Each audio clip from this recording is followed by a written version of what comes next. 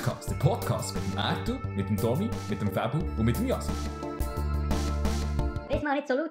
Lootcast. Gut, also eben, und als nächstes hat es Microsoft gegeben, wo eine Pressekonferenz hatte am Sonntag und ähm, die haben im Vorfeld der Pressekonferenz haben sie ganz grosse Aussagen gemacht im Stil von, es werden 18 Neuankündigungen geben auf der Pressekonferenz und als die Pressekonferenz angefangen hat, haben sie dann noch gesagt, es, es gibt 15 Exklusivtitel und insgesamt über 50 Games, die angekündigt werden, beziehungsweise gezeigt werden auf der Pressekonferenz. Also die haben Mhm. von Anfang an ähm, Gas gegeben, beziehungsweise wollen Gas geben. Mhm. Und da bin ich schon extrem gespannt drauf, äh, was wir da alles werden sehen. Und es war schon ein extrem hohes Tempo bei dieser Konferenz. Ja, die haben mit Titeln einfach um sich geschmissen. Das ist wirklich Also es hat keine Pressekonferenz in E3 dieses Jahr den Pace gehabt, wie Microsoft hat gehabt. Meiner Genau, und ähm, du hast auch wieder die ganze gesehen, oder? Genau, ja. Ich auch. Äh, Yassin, du hast Nope. einzelne Trailer gesehen aus der Pressekonferenz, genau. Ähm, darum würde ich sagen, machen wir es ähnlich wie Microsoft und wir gehen durch die krasse Liste durch, die sie gezeigt haben und wir sagen einfach Stopp, wenn wir über ein Spiel reden wollen, äh, wenn es erwähnenswert ist und wenn nicht, gehen wir einfach weiter, weil es so extrem viel. Unsere gut. Zuhörer können jederzeit Stopp prüfen, dann wird trotzdem diskutiert. Also ich einfach auf die Leertaste drücken. Genau, also, angefangen haben wir mit Halo Infinite. Stopp! Da muss ich wirklich schnell, da muss ich schnell meinen Nerdboner abjerken. Piep! Wow. Okay, das muss, ich, dann- muss ich wahrscheinlich ausschneiden. Ähm, nein, nein, nein, teilen wir das. Gut, also Ähm, sagen Halo Infinite. Es, es fängt so an mit so, du siehst eine Landschaft, du siehst so Tiere, die ähnlich aussehen wie Tiere, die auf der Erde sind. Aber es ist noch ein bisschen etwas anderes. Du siehst schon ein paar Strukturen mit so Ringen, die ein bisschen kaputt sind. Und dort kommt schon das Nerdherz oder das Halo-Herz, was so kommt, oh, Ringe. Das könnte Halo sein. Und dann sieht man halt lang einfach die Landschaft. Und es passiert eigentlich nichts Grosses. Man, man sieht wirklich einfach eine schöne Landschaft. Dann sieht man auf plötzlich mal ein paar Soldaten, ganz normale Soldaten, wie sie ja eben sonst von jedem anderen Trupp auf dieser Welt könnten aussehen, die so am Laufen sind. Und dann siehst du einen Helm mit einer, einer Person, die einen Helm der Hand hat. Ja, Und du siehst nur den Helm. Und jeder, der ein Master Chief Fan ist, weiß genau, welcher Helm das ist. Und das hat mir Hände Freude gemacht, das zu sehen. Ähm, ich habe keine Ahnung, was die Story wird sein, keine Ahnung, was wird kommen. Aber ähm, mir hat es sehr, sehr erfreut, dass Microsoft immer noch Halo-Franchise weiterentwickeln Yes. Yasin, bist du auch Fan von Halo? Bedingt. Bedingt. Also, ich habe es nie aktiv gesucht, aber ich habe es immer sehr gerne gegamet, wenn ich es Okay. irgendwie in den Fingern hatte. Muss ich sagen. Aber löst du eine Ankündigung etwas bei dir aus? Oder nicht? Ja, mal schon, es ist cool. Also, ich hatte einfach keine Xbox, gehabt, darum konnte ich es nie Mhm. können gamen. Auf dem PC habe ich die älteren mal, habe ich von den älteren Spielen zwei Titel, glaube ich, gespielt. Mhm. Aber Okay. aber so storytechnisch völlig unabhängig davon, einfach wirklich aus Shooter gamet und Freude dabei gehabt. Aber eben, Ist halt sicher eure grösste Franchise, die exclusive ist. Ja. Und darum denke ich eben so schnell, dass ich es ja nicht sterben lasse. Und ähm, den meisten hat eben das 5 zum Beispiel das Guardians nicht so gut gefallen. Mir hat es recht gut gepasst. Wann ist das rausgekommen? Keine Ahnung im Fall. Aber vor zwei, drei Jahren. Wahrscheinlich. Aber für mich ist das zum Beispiel, für mich ist wirklich Halo ein Grund gewesen, die Konsole zu kaufen. Ich hätte die Xbox schon nicht gekauft und ich habe sie ganz ehrlich gesagt schon auch nicht mehr gross gebraucht. Ja. Und äh, ich hoffe einfach nicht, dass es eine neue Konsole braucht für das neue Xbox. Und ich Und wenn- sagen, es könnte vielleicht ein Zeit gehen, bis Infinite rauskommt. Ja, und wenn, muss ich mir das dann wieder überlegen. Aber ich sage jetzt mal, wenn ich es schon einmal gemacht habe, werde ich es wahrscheinlich auch das zweite Mal machen.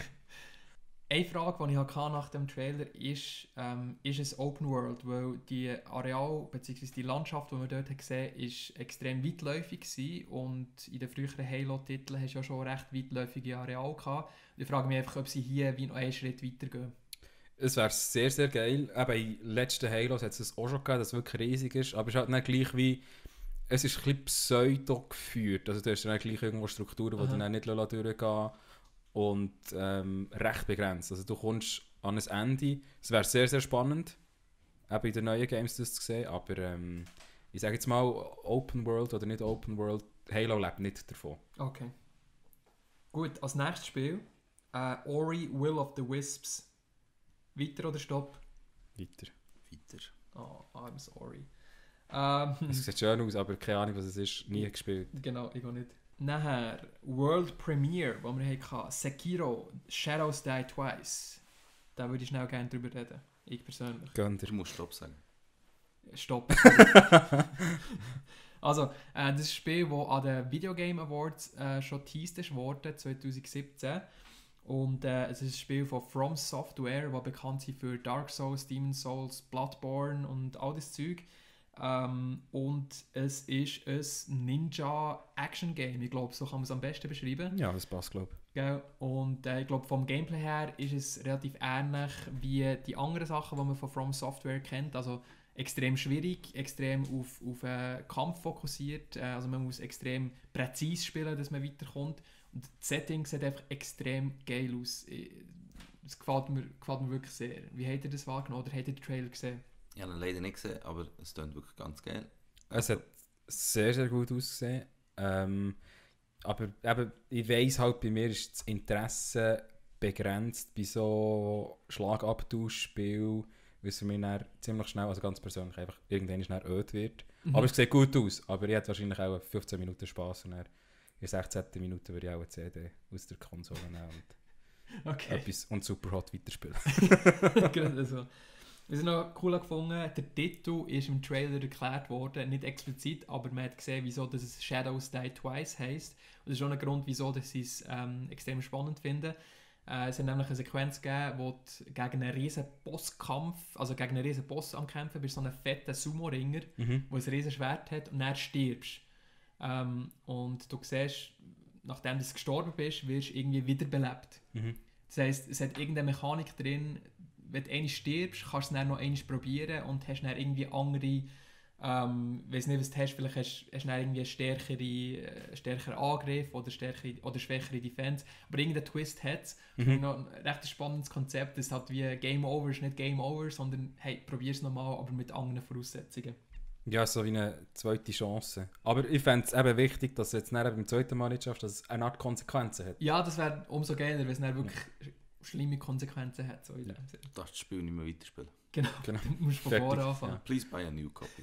So, Apropos genau. kurzer Exkurs, es gibt im Fall eine Mobile-App, ähm, äh, heisst auch You Only Die Once, oder wie auch immer, und du spielst genau einiges. Sobald du gestorben bist, du kannst es nicht mehr spielen, fertig. Ohne Scheiß. Ohne Scheiß. Dann kannst du nur noch deinstallieren. Es kostet 30 Stutz. Nein, ist gratis, oder? Ist glaube ich gratis, ja. Okay. Aber ich habe es irgendwie ein lustiges Konzept gefunden. Weiter im Text. World Premiere, Fallout 76. Nice. Ähm, ich glaube, wir können kurz hier drüber reden, aber wir werden dann bei der Bethesda-Konferenz nochmal im Detail drüber reden. Vielleicht können wir einfach hier schnell sagen, wie es hier vorgestellt ist worden, weil das habe ich recht komisch gefunden. Ähm, weil bei der Bethesda-Konferenz haben wir dann gelernt, dass es ein Online-Spiel ist, aber Mhm. hier bei dieser Vorstellung ist null von dem erwähnt worden. Mhm. Ja, das Lustige ist ja der Todd Howard äh, auf die Bühne gekommen. Also der, äh, Der Chef von der Bethesda Game Studios. genau. Und ähm, das Einzige, was er gesagt hat, ist, glaube ich, es ist viermal so gross wie das Fallout 4. Genau. Ähm, dass es vor allen anderen Fallouts spielt. Ja, genau. Dass es äh, darum geht, jetzt eben wirklich von Grund auf alles neu aufzubauen, dass alles Menschen sind, bin mir nicht ganz sicher im Spiel. Und auch nicht viel anders. Oder ich mag, mag mich auch nicht mehr daran erinnern, was er explizit nur mit Microsoft gesagt hat. Ja, es war wirklich extrem kurz, gewesen, aber einen geilen Trailer hat es gegeben. Aber das habe ich recht mutig gefunden, eben, dass sie es hier nicht als Online-Fallout verkaufen, sondern quasi als echtes Fallout. Ähm, hätte ich nicht erwartet, dass sie, dass sie das so kommunizieren. Ja, ich frage mich aber, wie fest, dass sie den, den Entscheid machen, dort äh, erzählen wir die Information, dort erzählen wir die Information nicht. Ja. ja. Also, nächstes Spiel: The Amazing Adventures of Captain Spirit. Mhm. Stopp. Stopp. ähm, Was ist ja, das? Ich, mir einfach, also, du hast einfach die Entwicklung gesehen im Trailer. Es kommt zuerst Square Enix, dann kommt Don't Not und dann eben wieder der Nerdboner, die Kennengeschichte. dann denke ich mir einfach automatisch an Life is Strange 2. Die uns jetzt da schon etwas erzählen. Ähm, dann, dann zeigen sie das von Captain Spirit, eben von dem Bub, der ähm, ein Held ist oder sich vorstellt, ein Held zu sein. Ähm, mit dieser kindlichen Art, wie wir das alle vielleicht selber auch schon sicher auch erträumt haben, selber Superhelden zu sein. Und ähm, ja, also das, was gezeigt worden ist, hat auch spannend ausgesehen. Mehr kann ich nicht sagen, mehr hat es auch nicht gegeben, zum zu sagen. der Fabian Lattler ausrichten, dass er es auch geil gefunden hat. Stimmt. Und, was man noch sagen, es ist 100% kostenlos, der Download von dem. Genau. Was ich auch noch geil finde. das lässt mich ein bisschen daran zweifeln am Spielumfang. Ja, Aber ähm, es kann definitiv gleichwohl etwas sehr gut sein. aber sie, sie haben explizit gesagt, dass es im Life is Strange 2 Universum spielt. Darum, für mich ist es wie ein ganz geiler Marketing-Gag, Mhm. wo er irgendwie jetzt Life is Strange 2 wird reinspielen Mhm, mhm. das Ende oder was auch immer, irgendeine Verbindung wird es haben. Das ist echt so wieder Aufbau oder äh, wie, nicht das Prequel, also, aber so ein bisschen wie, wie Ground Zeroes zu Metal Gear Solid 5 war es.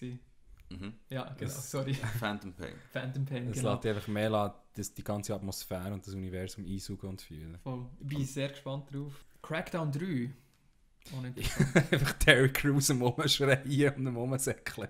Das war es für mich. Gewesen. Genau, da- das ist das Einzige, was ich mit diesem Game verbinde, ist, dass es schon tausendmal verschoben ist worden, angekündigt mit der Xbox One als Launch Game, oder nicht als Launch Game, aber echt dann angekündigt worden. Und wahrscheinlich kommt es irgendwann nächstes Jahr raus.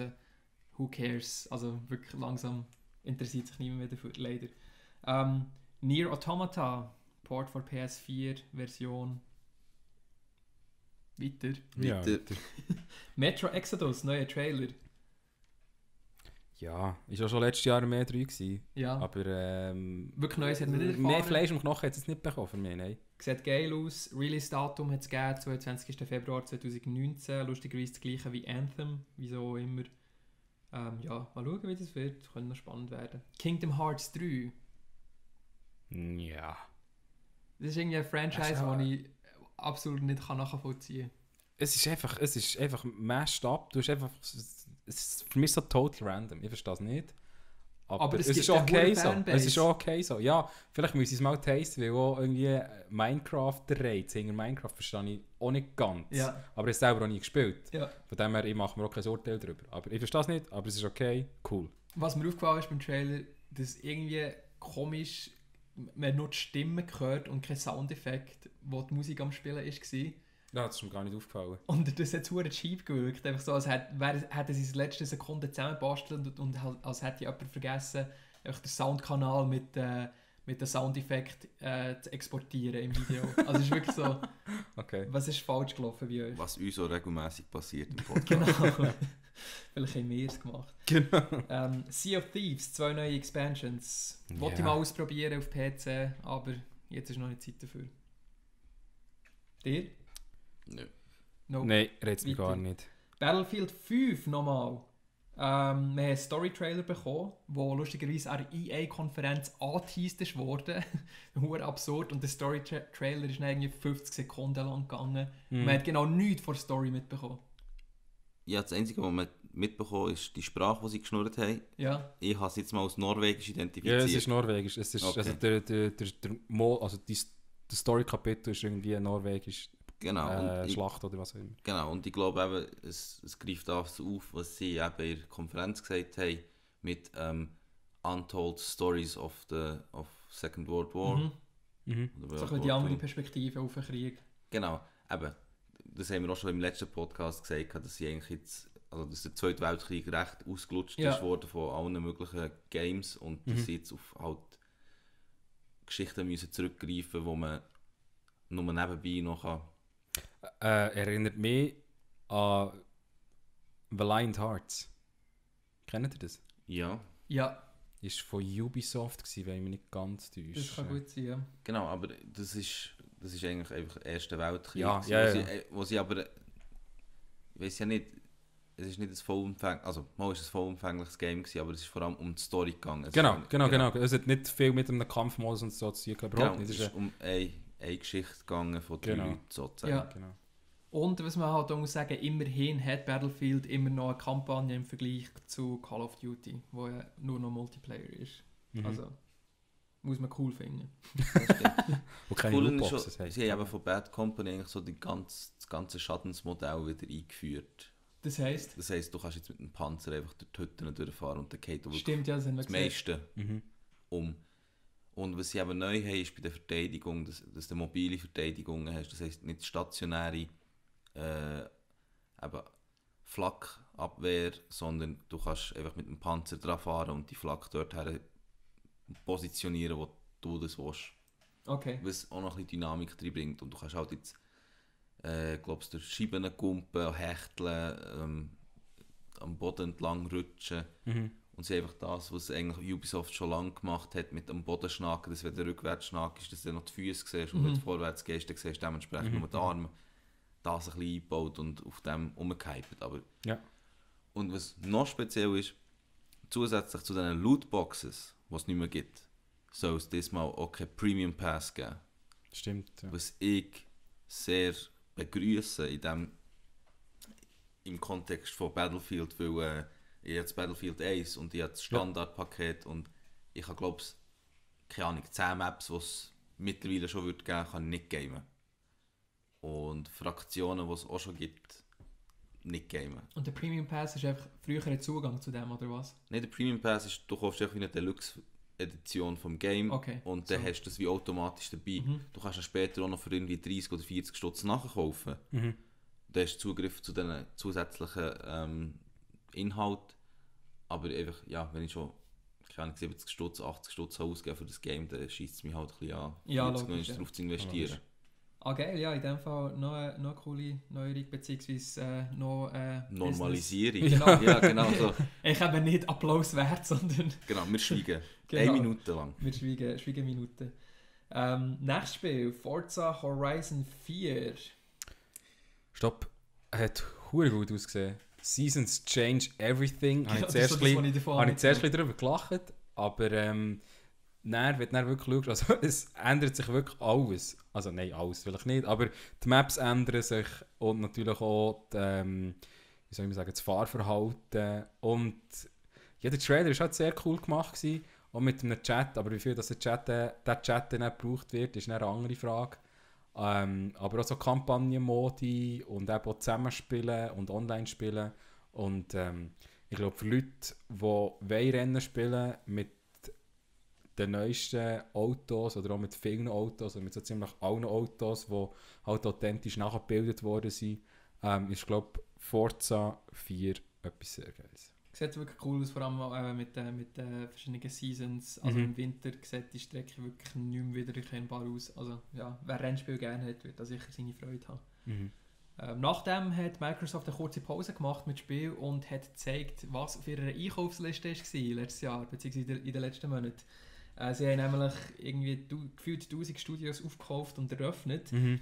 Ähm, ein Studio, das sie eröffnet haben, ist The Initiative, ähm, wo man aber nicht weiss, an was das sie arbeiten und wer dort alles eigentlich genau dabei ist. Äh, das Einzige, was man weiss, ist, dass sie an einem Titel arbeiten, der story-fokussiert ist. Also sie wollen ein bisschen dort herkommen, wo Sony jetzt ist, mit vielen Exklusivtiteln, Mhm. die Singleplayer fokussiert sind und wo den Leuten wirklich einen Grund geben, die Konsolen zu kaufen, weil sie exklusiv sind.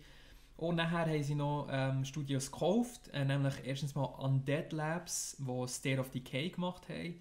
Äh, Playground Games, die Forza gemacht haben, macht wie Sinn, dass sie die kaufen. Mhm. Mhm. Ähm, Ninja The- Theory, sehr überraschend, äh, habe ich gefunden, wo Hellblade gemacht haben. Ähm, und das letzte Devil May Cry. Ähm, die sind aufgekauft worden. Und Compulsion Games, wo We Happy Few gemacht hat. Also Microsoft hat aufgerüstet für die Mhm. nächste Konsolengeneration, habe ich das Gefühl. Also das, was die jetzt starten, wird auch erst für die nächste Xbox rauskommen. Es Ja. könnte spannend werden in der nächsten Generation, habe ich das Gefühl, von den Exklusivtiteln her. Ja, definitiv. Also es, dass sie solche Investments machen, eben mit solchen Game Labs zusammenzuschaffen und die einzukaufen, zeugt für mich nach Innovation und nach etwas, was zukunftsgerichtet ist und äh, nach Hoffnungen für äh, geile Exclusives für Xbox. Voll. Wir sind gespannt. Und eben er ähm, ist von Compulsion Games ist We Happy Few vorgestellt worden, ein neuer Trailer. Äh, wollt ihr darüber reden oder eher nicht? Äh, können wir weiter, ist immer noch gleich verwirrend wie letztes Jahr. Ich, ich finde es sehr verstörend. Jason, hast du das mal gesehen? Ich habe es noch nie gesehen, ich weiß nicht, was es ist. Okay, schau es nicht an, es ist verstörend. Nein, es, es, es könnte cool sein, es ist einfach ähm, ja, so, so komische Clownsmasken und so, das macht mir Angst. Ich will nicht darüber reden. Okay. Also, dann haben wir von PUBG neue Maps und neue Modes gehabt. Ähm, cool, wenn es interessiert und wer es spielt. genau, der Trailer hat einfach nur daraus bestanden, mit Charakteren, die einfach rumsäckeln und verschiedene Waffen vornehmen und es wird geschossen und nein, nein, nein, also So wie jeder PUBG-Trailer. genau. Ja.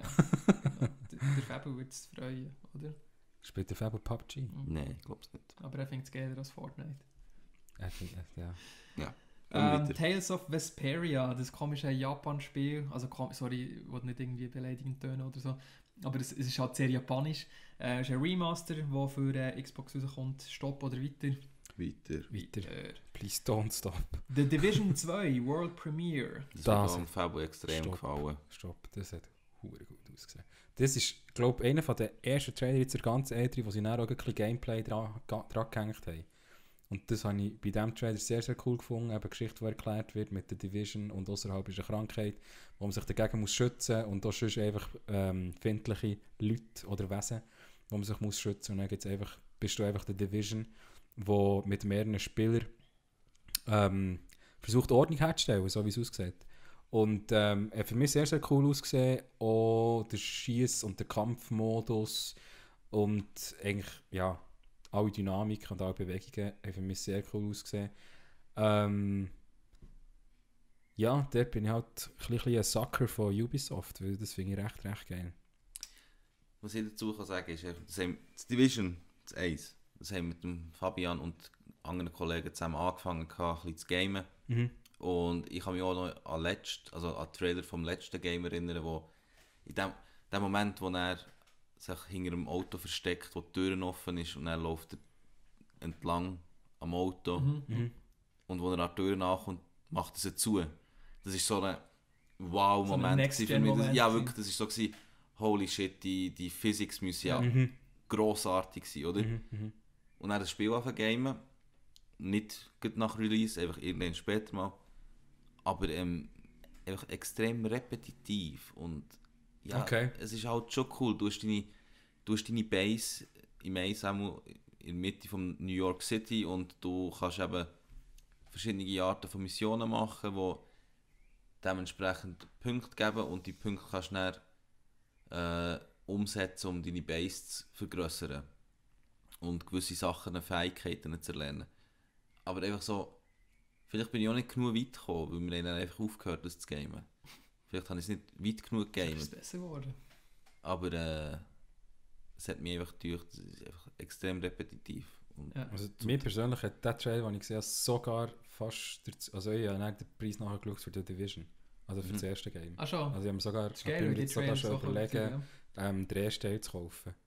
Was ich mich gefragt habe, um nochmal an das an, anzuknüpfen, was du gesagt hast, Yassin, wegen Next-Gen-Moment, äh, teilweise bei diesen Visuals hier, habe ich mich auch gefragt, ist das noch auf aktueller Konsole-Hardware? Weil, also, der Release ist ja gleich, oder haben wir den überhaupt? Den haben wir, glaube ich, aber ich habe jetzt nicht notiert. Aber das ist, ist wieder so ein Moment gewesen, wo du dich fragst, wow, das geht jetzt wirklich so krass aus, teilweise. Ähm, ich weiß nicht, ob das auf PS4 und Xbox One auch so geil wird aussehen und äh, hat mich so ein bisschen Vorfreude gemacht auf die kommende Konsolengeneration, muss ich ehrlich sagen. Ja, eben, selbst wenn eine neue Konsole kommt und wir müssen warten bis dann, hoffe ich halt einfach, dass, weil sie viel Zeit haben, dass sie auch gut rein investieren. Genau. Das nächste Game, Shadow of the Tomb Raider. Stopp, ja, ganz kurz. Ähm, sieht gut aus, aber der Trailer hat für mich so das, ich, ich kann es nicht genau benennen oder pinpointen, aber hat für mich so das klassische Tomb Raider Feeling nicht gehabt. Okay. Und irgendwie hat sie anders ausgesehen und Sie sieht anders aus, ja. Vor allem, ich weiß also, nicht genau, was es ist, aber es ist irgendwie, irgendwie hat es nicht ganz für mich gestimmt vom Bild her. Aber ähm, etwas, was mir aufgefallen ist beim Trailer, dass sie einfach Splitscreen beschissen eingesetzt haben. Also wie, wie kein ah, Sinn der, gemacht. der Trailer, der, ja, der, der ist schlecht gemacht. Trailer ist das hätte so nicht Er hat machen. noch Informationen gegeben, irgendwie. Mhm. Er hat so ein bisschen artsy-fartsy sollen wirken. Ähm, Become the Tomb Raider zum dritten Immer Mal. noch. ja, genau. So ein bisschen, ja. Also äh, wird ein gutes Game, aber so Präsentation und wie sie das bisher kommuniziert haben, finde ich sehr unspektakulär. Äh, Session, Skatespiel. Weiter.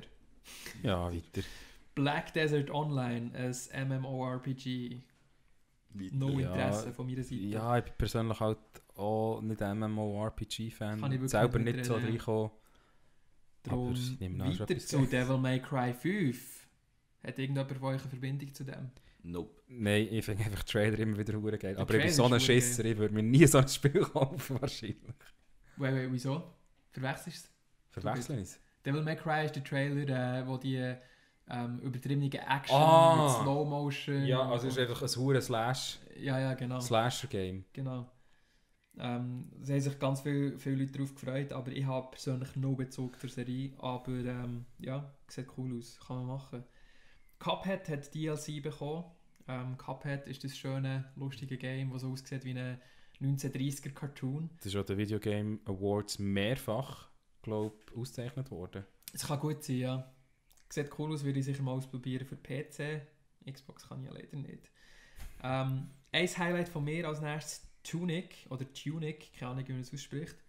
Ähm, ein Game, ein Indie-Game, das so aussieht wie Zelda, einfach aus einer isometrischen Perspektive mit einem sehr, sehr eigenartigen Artstyle und du spielst einen kleinen Fuchs mit einem Schwert und es geht wirklich aus wie, wie Zelda, aber halt auf eine wirklich komische Art interpretiert und es hat, hat mich extrem angemacht. Ja, das Vögel sieht einfach riesig süß aus. Das ist einfach das Einzige, was ich dazu zu sagen habe. Das ist wirklich das, ist das was mich am meisten umgehauen hat. Ich glaube, es war gar nicht einmal eine neue Ankündigung, gewesen, aber ich habe es bis jetzt noch nicht kennt und das ist definitiv auf meinem Radar. Ähm, dann ein Spiel, das vielen Nerds wieder einen Nerdboner wird geben Jump Force. Ja, da habe ich, äh, stopp, zuerst mal, da habe ich wirklich an Fabu denken. Der hat doch äh, das Dragon Ball. Z Fighter Game hure geil gefunden. Ich weiß nicht, ob er es mal gekauft und gespielt hat. Er hat dann nicht mehr Hände darüber geredet, von dem her es kann nicht so wahnsinnig gut gewesen sein. Ähm, jedenfalls, eben der siehst du einfach aus den Anime Brügel wie soll man dem sagen? Welt. aus den Prügel-Animes. Animes. Ähm, siehst eben, was siehst? Naruto, One Piece, ähm, Dragon Dragon, Ball Ball, natürlich. Und dann am Schluss äh, siehst du noch ganz kurz Death Note. Äh, die beiden Charaktere, der Ryu und der Anger, wie auch immer. Ah, Light Yagami, genau. Ähm, und das ist, äh, sieht recht geil aus. Aber ich, ich stelle mir es ein bisschen vor wie DC hat es doch auch mit so ihren Superhelden, die einfach, Ah, einfach ja, ja, geprätscht wird. Und Ja. äh, es ist einfach ein, wie sehen wir dem? Button-Mashing-Game wahrscheinlich. Mit, Das äh, Beat'em Up. ein Beat'em-up, genau, Mhm. mit, äh, mit Anime-Charakteren. Aber ein sehr geiles Setting. Dream come true für alle Anime-Fans, würde ich sagen. Ähm, das nächste Sp Spiel, Dying Light 2. Zombie-Spiel. Hat ihr es mal gespielt oder sollen wir weitergehen? Nie gespielt, leider. Ich habe es nie gespielt, aber äh, ich weiß nicht, irgend, irgendeine Assoziation habe ich aber über das, ich weiß nicht genau was. Hat cool ausgesehen, aber Mhm. die hat mich jetzt persönlich nicht angemacht. Ist halt auch einfach in diesem Zombie-Genre, oder? Ja, genau. So ein bisschen oversaturated, all das Zeug. Aber äh, für die, die es geil finden, wird es sicher cool sein. Mhm. Ähm, Battletoads ist noch angekündigt worden. Habe ich noch lustig gefunden. Das ist irgendwie ein altes äh, Nintendo-Spiel und Ar Arcade-Spiel, das mhm. schwierig war. Und Ist ja Hennen minimalistisch vorgestellt worden. Ja. Es ist nicht Hennen viel gesagt Nein, worden. du hast gar nicht gesehen eigentlich. aber auf, auf Twitter und so ist vor allem einfach so die, die, Die Fans aus der Kindheit, genau, genau, ja. die, die es aus der Kindheit kennt haben, es Hennen gehypt. Die werden hure abgehen. Ähm, noch eine weitere World Premiere, Just Cause 4, ist schon geleakt worden vor der Pressekonferenz und sieht so aus wie das weitere Just Cause, das bis jetzt ist rausgekommen. Ähm, weiter oder Stopp? Weiter. Ich habe mal einiges, oder, oder stopp, ich habe mal ganz kurz das 3, glaube ich, mit einem Kollegen gespielt, gehabt, aber es ist wie, ja, das Setting, was war es? Irgendwie eben, du bist in einem Land, wo du eine Art befreien und Ja. hast halt übermächtige Tools und die Story verhält halt nicht, also ist nicht wahnsinnig gut und darum, du kannst einfach, einfach zu viel machen, eine Art. Ja. Und das war ein bisschen, ein bisschen schade, gewesen, hat es mich gedacht. Ich glaube, Just Cause, also die Fans, die Just Cause hat, sind nicht wegen der Story da, sondern einfach wegen den Möglichkeiten, die das Spiel bietet. Mhm. Eigentlich eben die Open World und sozusagen äh, un, uneingeschränkte Möglichkeiten, die du hast. Oder mit deinen Minen, wo du kannst einfach an eine Kuh dran tun, dann fliegt die Kuh einfach in der Luft rum. Es ist ein extrem humorvolles und lustiges Spiel. Mhm. Also im Vergleich zu GTA, im GTA kannst du ja auch dumm tun. Ja, Aber da kannst du noch einen Stimmer tun. So. Beschränkungen. Einfach mehr Genau, du hast einfach noch. Gadgets dazu, zum richtig Ja. dumm tun, oder? Ähm, aber was ich eben zu kritisieren hatte, kam Just Cause, Just Cause 3, wo ich durchgegamet habe, Ja. was gratis war auf PS, Ja. ähm, ist einfach, dass es einen Leistungsabfall hat gegeben, wenn, wenn du in zu grosse Camps bist mit zu vielen Gegnern. Dann hat das Spiel einfach verstocken und das auch äh. ja, auf der Playstation. Und das ist so für mich so ein No-Go-Moment. gewesen, So, also Das das, darfst du nicht ja. bringen. Ich weiß nicht, ob es an meiner Playstation liegt, aber Also habe das das hast, schon hast nie du die Slim-Version oder so? Nein, nein, nein. Die, die reguläre PS. Genau, ja. Also, darum. Und einfach wirklich die Story verhebt nicht und einfach die ganzen Cutscenes sind einfach billig gemacht und, Ja. Das ist schade. Ich habe es kurz angespielt, das ist also genau meine... und auch extrem repetitiv. Ja. Ich glaube, das mit dem Stocken könnte hier auch wieder der Fall sein, weil ist irgendwie so Tornados und, und äh, irgendwie äh, so Sandstürme und riesen Naturgewalten, die auf dich zukommen. Also es sieht alles nochmal wie eine Stufe höher aus. Bin gespannt, wie das performt. Also Mhm. eigentlich ist es wirklich ein richtig lustiges Game, aber einfach, wenn du Helikopter fliegst, es fühlt sich nicht an wie ein Helikopter. Es ist auch komisch mit der Steuerung, du fliegst eigentlich in die Höhe als geradeaus mehr. Mhm. Ähm, die Autos fühlen sich ex extrem botig an, Mhm. und du kannst klar steuern. Ähm, eben, hat viel Verbesserungsbedarf, wenn sie das herbringen. Allem das eigentlich ein lustiges Game. Gut. Ähm, als nächstes äh, eine coole Ankündigungsserie habe ich gefunden, nämlich zu Gears. Ähm, haben sie die Fans hure getrollt, weil ähm, die Fans warten auf ein neues Gear, Gear Game und äh, da haben sie aber zuerst das Comics Gears angekündigt für Mobile, äh, wo so im, im Stil von diesen Popfiguren ist, mit diesen grossen, mit diesen grossen Köpfen, die Sammelfiguren. Es ist ein Mobile-Spiel und ähm, man weiß eigentlich nicht, nicht mehr, was Gameplay ist und, und was auch immer. Jeden Fall eine enttäuschende Ankündigung, wenn du Fan bist. Und dann ist sie eine Stufe cooler geworden mit einem XCOM-mäßigen Spiel für PC, wo in der Gears-Welt spielt. Und nachher als Höhepunkt ist dann wirklich Gears of War 5, nein, beziehungsweise es heisst ja nur noch Gears, Mhm. Gears 5 angekündigt worden. Und dann halt wie alle Träume in Erfüllung gegangen von den Fans. Da habe ich eine sehr coole Strategie gefunden, Ja. um es ankündigen. So ein bisschen trollen und nachher in einem Höhepunkt enden. Mhm. Das ist wirklich sehr, sehr geil. Nice. Äh, ich habe selber Gears nie gespielt. Ich gehe nicht. Ich auch nicht. Ähm, Darum kann ich Reden nicht wir sagen, mehr darüber. Aber der, irgendwie der, der, der Story-Trailer hat mich irgendwie gleich noch gepackt. Schon. Ja. Also Okay. dort, wo sie so, ähm, ja, sie wollte jetzt dort her, aber äh, ja... er Es geht nach nicht, einer persönlichen Geschichte aus. Ja, genau. Und das ähm, hat mich am spannend gedacht. Da finde ich geil, dass, wenn wenn Spiele ein bisschen, ein bisschen Fokus auf das legen, bin ich ein grosser Fan davon. Und dann, vor dem Schluss der Konferenz, hat, eben, haben wir auch schon kurz angesprochen, äh, Microsoft ihr Cloud Gaming Commitment nochmal gesagt, also dass sie auch daran arbeiten mit den Cloud Services und Mhm. Streaming Services von den Games. Und sie haben überraschenderweise schon die neue Xbox angeteased. Also Mhm. nicht konkret, sondern gesagt, hey, wir arbeiten dran. Habe ich echt komisch gefunden. Also es ist wie, wie klar, dass sie Ja. daran arbeiten, muss sie gar nicht sagen. Und wenn du nichts sagen hast, nach dem, Ja, man, man erwartet ja. Man, Ja, das erwarten ja alle. Es ist nicht Ja. News, dass man daran arbeitet. ein bisschen strange gewesen. Ähm, und zum Schluss, wo sich der, ähm, wie heisst der, wo, wo präsentiert hat? Phil Spencer. Spencer, genau. Als er sich verabschiedet hat, habe ich die, das geilste Ende von der Pressekonferenz ever auf der E3 gefunden. Hat es plötzlich so Glitches auf den Screens hinter ihm. Es hat so ausgesehen, als hätte sich jemand reingehackt und dann haben wir tatsächlich einen Trailer zum neuen Game von CD Projekt Red gesehen, nämlich Cyberpunk 2077. Geil. Richtig gut. Also die Visuals, die du siehst in diesem Trailer, einfach wahnsinnig. Und ähm, ja, also es, es sieht einfach schön und gut und geil aus. Und mehr, also mehr habe ich eigentlich nicht mitbekommen von diesem Trailer. Aber es macht Bock auf mehr. Mehr von dem Cyberpunk 2077. Genau, es ist das klassische Cyberpunk-Setting, äh, wie man es würde erwarten, Mhm. wenn man Cyberpunk hört. Also eine dystopische Zukunft, wo es ein grosses Gefälle zwischen Arm und Reich gibt, aber Technologie gleich überall vorhanden ist. Und ich glaube, man weiss, durch den Trailer weiß man nicht mehr von der Story oder vom Gameplay, aber er war gleich effektiv gewesen, in dem, dass er Lust auf mehr gemacht hat, habe Mhm. ich das Gefühl. Echt vom, vom Artstyle her und vom Feeling her, was so kommuniziert hat. Ich bin sehr gespannt, was da noch kommt. Mhm. Definitiv. Lustigerweise, am Anfang vom Trailer hat es ja eben da die Hacking-Sequenz gegeben, wo du eher gedacht hast, es ist vielleicht super hot.